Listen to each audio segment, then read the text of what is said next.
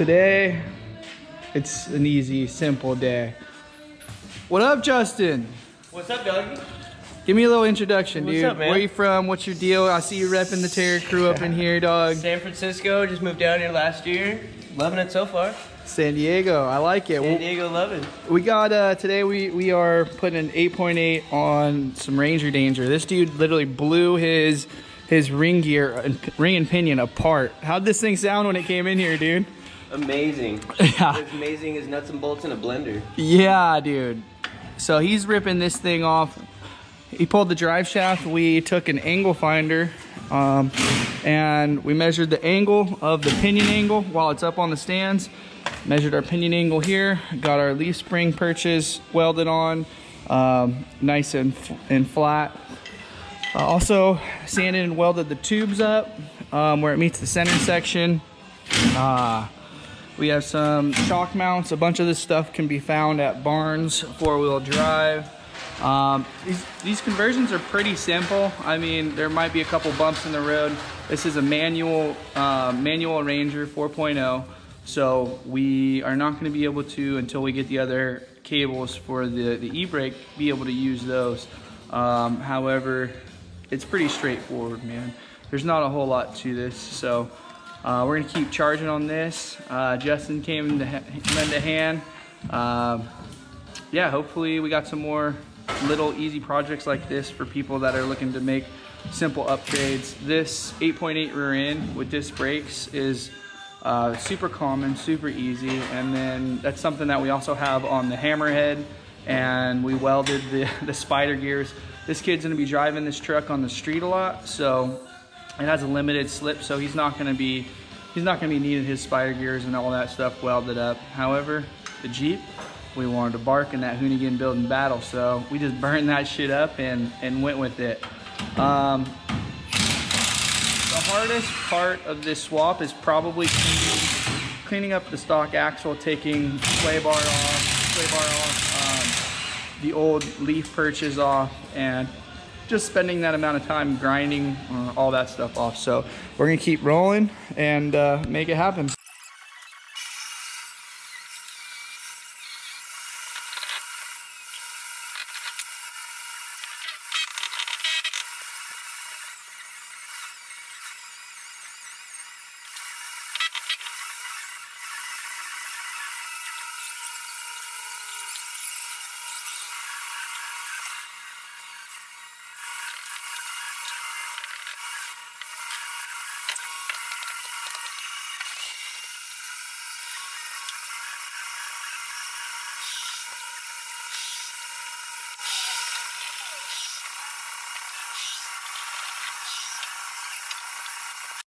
Look at that dog. What's up, doggy? It's just handling it. So the old, the old stock Ford Ranger rear end is out. 8.8's in. Uh, pinioning was looking good. We got some some shock mounts that we're gonna throw on. Justin's straight killing it over here. Got to give him credit for doing this. I'm working on a hitch mount right now for for the Smittybilt winch. Um, so I'll have a receiver for a truck and then I'll also have a receiver for my trailer. Um, this is gonna be the one that goes on the trailer. Boom, bolts on there, welds on the front of the trailer. And then this one will be for a standard receiver. Uh, something we use the right CNC plasma to do. Here's the winch, all assembled. Um, yeah, the Smittybilt 995K is gonna be badass. Have to finish putting it all together. Um, obviously, I'm finalizing that. But uh, back to this 8.8. Um, super, super simple. I mean, it's pretty straightforward. It doesn't take a whole lot to know what you're doing, right, dude? No, definitely not. Look at me.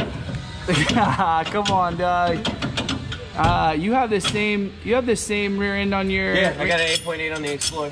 Dude, let's let's take a break and show me your Explorer, man. Get that nut started and come show me this thing. It's badass. What do you dude. want me to do with that nut? Take easy. Take a break on that nut, dude. I realize you were coming. Caught off guard over here. So we did the same swap, 8.8 on the Jeep. Uh, and we beat the hell out of this with welded spiders, spider gears, Uh, what do you got? You got a diff, or you got, or you got a limited slip? You got Nah, you true- weld. Detroit Truetrac. It's a Moser, right. it's a Moser build 8.8. So Okay. 4130 shafts, disc brakes. You spent some money. Unfortunately. No, but you know what? you get what you pay for. Heck yeah. Check this cantilever system out. So, what's the ratio? Two to one. it's like 1.95 to 1. It's super close 2 to 1. Okay. And they're 12 inch 3032 bypass kings.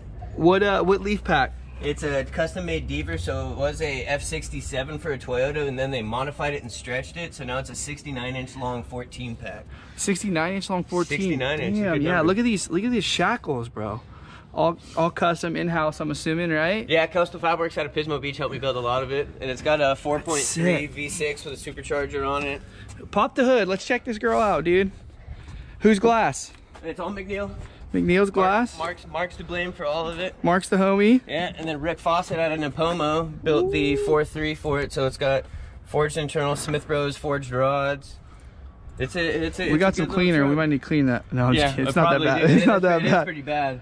It's a little, it's a little rough at times. Won't lie, won't lie. what uh what's she put down roughly I have no idea, but we're hoping for anything over 300. That would be cool. this thing's clean i've seen you smash on this thing on ig and uh it's just super simple but so effective man It i works mean well. It beam, beams all the way with a single swing steer setup. I broke the four-wheel drive shafts a couple weeks ago, so I got to get those fixed. Yeah, the swingers looks good. The four wheel drive did work prior. Yeah, four-wheel drive was working.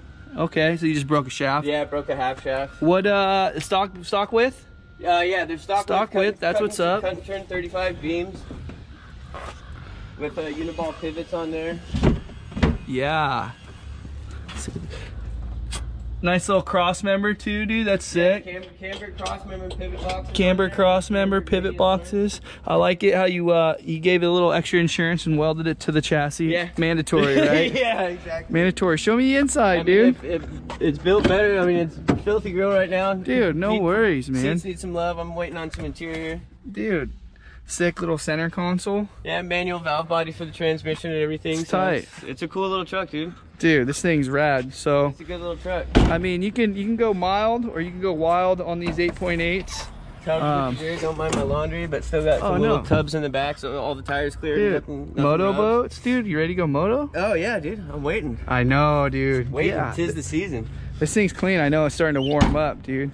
Well, that's sick, dude. We might have to like loading dock challenge this oh, thing a little absolutely. bit. 100% fully with it. you seen those ramps back there? Hey, I'm, hey, I'll do it once. Oh, nah. Shit. All right. So, yeah, dude. Um, needed some help with this. I got so much shit going on. He asked if uh, if I needed a hand, and you know what? Uh, we'll help the homies who are helping the homies, and all the homies are coming up. So, we're gonna get back to it. I'm gonna keep going on uh, what I got going. Um, but yeah, Justin's killing it on this right now. Love it. We just bled the brakes with a Maxima brake fluid, the street and off-road dot three dot four approved. Now we're making it race official, bro. We're making it all. Finishing touches, man. I love it, bro. It's All clean. One dollar can of spray paint goes a long way, baby. She's looking good though. Um, what would you say the hardest part of this was? Uh, probably just dragging the axle out. Right? It's uh, axles are heavy, man. They're not light. It's not that hard if you have a welder and a little bit of ingenuity. The basically, when you get this thing up in the air and you unbolt the drive shaft on your stock setup, the most important thing is don't get over carried away and make sure that you have the right pinion angle and then also make sure that your spring perches are center to center off of what your your old setup was. I mean, those are the two only big like big areas where you could fucking you could fuck up essentially. Other than that well the tube to the center section that'll help strengthen that make sure you get that nice and clean. Um, luckily this this dude already cut all the old perches off and the old sway bar stuff off. That saved us a whole bunch of time.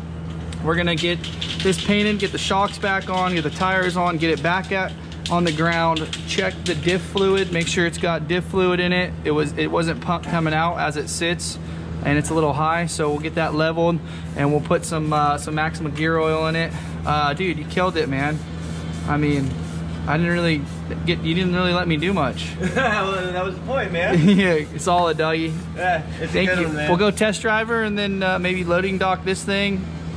Ah, probably a bad idea. Probably bad. Probably wouldn't be good. but that's that's an 8.8 swap. Um, if you are four-wheel drive, you got something you have to consider is the the gear ratios in the front diff and the rear.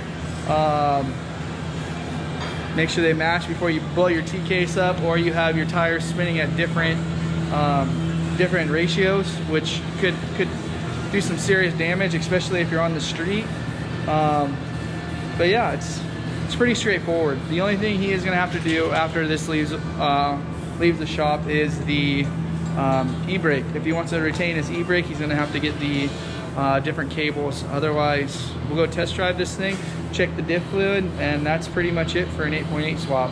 Not a whole lot to it. So I don't know if that helps anyone, but it is what it is. This is just another day in the grind. However, earlier I showed you my winch setup I was making. So I added a, a piece in between the two rails here, the angle and the inch and a half. I also put a little top piece on there. And then now my winch will sit on top the base plate and then the rollers will bolt up there. Cut those out on the right CNC. And then this is for the hitch of a truck. So that way if anyone in the dunes needs to use it, they can pop this thing out, take the battery and, uh, and put that Smittybilt winch on the back of their truck and either winch someone out of a, a, deep gnarly hole that you know a buggy or uh, a truck can't get into or shouldn't unless they're going to get themselves in trouble or they want to have the cat come get them um, this is an option with that long winch cord and a couple tow straps.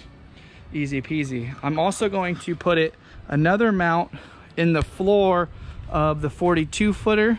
So i have water tanks and a bunch of other stuff up in there that I am going to, I don't know if you guys have ever seen this wrap, but there's ghosted shakas in the sunset.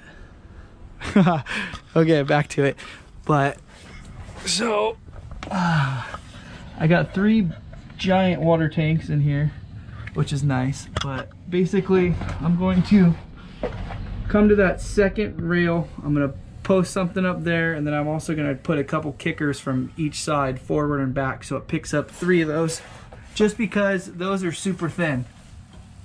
Probably they sound like by tapping on them they sound like 065 so in order to do that and be safe with pulling the buggy up in here um, I'm gonna have it come down a little bit to where I can pick up the bottom of it and I can triangulate it upwards I'll just show you guys in a little bit. So that's my next next task. Um, get this mini built winch put on the trailer. And this is just one of the days of madness. I want you guys to see. I usually show it through my Instagram stories, but this is what keeps all the wheels turning. It's just non-stop, wide open, and I wouldn't change it for anything else. Check out this mess. Oh yeah. So what I did is I used this long skinny drill bit and I came up from the bottom through my female um, on the bottom, centered it, then I did an inch and a half hole saw. What's up, cowboy? You're always making a mess. Always making a mess. And then I used this coarse carbide bit to hog out the aluminum, and then I used the backside of the bit right here. And I'd come up and I just chunked the shit out of the wood until I got it like pretty close, and then I'd use the bit to actually eat it. Come, come check out the bottom. You afraid that you're gonna have to winch your car? I mean, you never know, dude. One time I did break, and I had to freaking have like 10 people push the thing in. Especially when I have my flat tires always, my flat spares. So, boom, here's my quick release hitch pin. Um, I tied all three of these together. So when, if you think about it, when this thing is putting, is loaded, the top is wanting to come forward. That's why I have this one on the top. And the back is wanting to twist down. That's why I have this kicker coming up to this rail. Pull the pin. She's not perfectly off of the top deck, so she drops down a tiny bit. And then now I can put it on the front of the other trailer if need be. And or did you see the back of that? How I could put it on the back of a truck if I needed to? Yeah. That way, in case if when your car's done for next season, while we're testing it, we gotta winch it out of a big giant hole like we almost had to with Travis. We're not gonna have to do that with my car. Fucking jinx me before it's done, damn it. Yeah, so that was pretty much part of today's grind. What else do I have to do? I have a whole checklist shit still. So um, I'm gonna paint all this shit up and see where we're at in the time of the day. But so far, gotten a lot done today. I think you should take that thing to Swift and have them powder coat that thing. I might take it to Swift and have them powder coat that thing. That'd be nice. Pink. It'd look way good. No, oh man. Yeah, because it's gonna be outside a lot, so. Yeah, I don't even know what day it is, but today has been a good day so far. Tuesday. Haven't really had. Today's Tuesday. I wish we could get tacos and this quarantine wasn't still in effect. But That sucks. yeah, it's the little things. I'm gonna actually mount this thing up to the winch and put it on the front so we can see what it looks like. This bad boy's tight. It's got a little LED light right behind it, so you can see all your uh, cables, and then it has another another little uh, auxiliary power switch for that girl. That's cool. Uh, also, what's going to be powering is this full throttle battery here. You see, you see now. So um, now it's on my bracket. It's heavy as shit though. what do you think this thing weighs, cowboy? Too much. I don't know what you're trying to pull with that damn thing. You never know. I guess. I mean, we could hook it to the back of the diesel. It's better to have it's better to have too big than too little, right? Uh, depends on who you are. Ask a woman that opinion. Oh, hey. Would you rather have it too big or too little?